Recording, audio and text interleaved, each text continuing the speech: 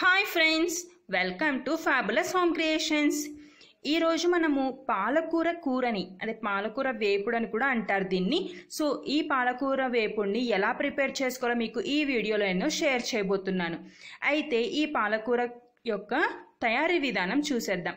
ముందుగా stove on చేసి stove మీద ఒక గిన్నె పెట్టుకొని ఆ గిన్నె హీట్ అయిన తర్వాత దీంట్లోకి ఒక టేబుల్ స్పూన్ ఆయిల్ని యాడ్ చేసుకోవాలి.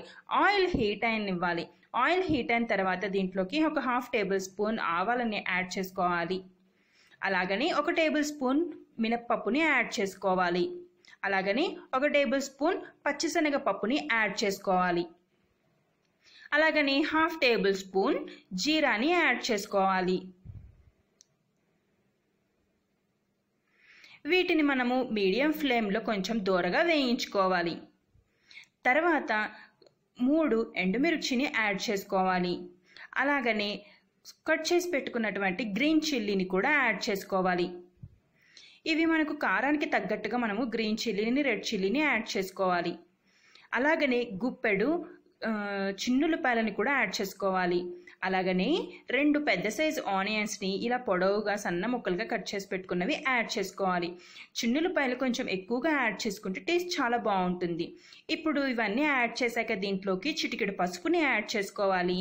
అలాగనే కొంచెం రుచికి సరిపడినటువంటి సాల్ట్ని యాడ్ చేసుకోవాలి. పాలకూరలో కొంచెం సాల్ట్ తక్కువగా వేస్తేనే బాగుంటుంది. ఎందుకంటే ఆల్రెడీ దాంట్లో కొంచెం సాల్టీనెస్ ఉంటుంది. ఇక్కడ నేను ఒక పాలకూర కట్టని తీసుకున్నాను. ఆ కట్టని బా ఒక గోరువెచ్చ నీళ్ళల్లో రెండు సార్లు వాష్ చేసేసాను. తర్వాత వీటిని ఇలా బాగా సన్నగా కట్ చేసి పెట్టుకున్నాను. కట్ చేసిన తర్వాత ఇది వాటర్లో ఒక వన్ టైం కడిగెత్తున్నాను ఇలా బాగా ఈ వాష్ చేసుకోవాలండి ఆకుకూరను మాత్రం ఖచ్చితంగా.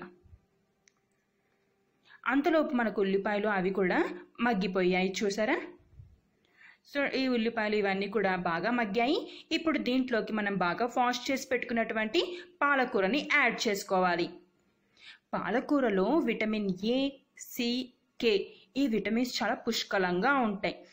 ఎస్పెషల్లీ పాలకూర మన బాడీలో ఇమ్యూనిటీ సిస్టమ్ని చాలా మంచిగా డెవలప్ చేస్తుంది.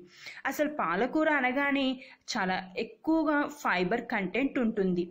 సో ఈ ఫైబర్ కంటెంట్ ఉండడం వల్ల మన డైజెస్టివ్ సిస్టమ్ని ఇంప్రూవ్ చేస్తుంది. అంటే మంచిగా డైజెషన్ చేస్తుంది అనమాట సో బీపీని కూడా చాలా నార్మలైజ్ చేస్తుంది.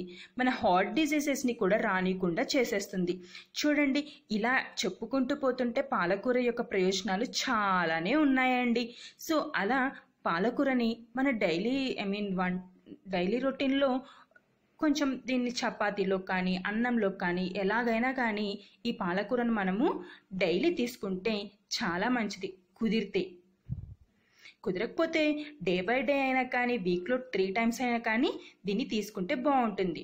చూసారా? ఎంత తొందరగా మగ్గిపోయిందో. ఈ వాటర్ మొత్తం అబ్జర్వ్ అయిపోతుందండి. సో ఈ వాటర్ మొత్తం కొంచెం అబ్జర్వ్ అయిపోతే మన కర్రీ చూసారా రెడీ అయిపోయింది.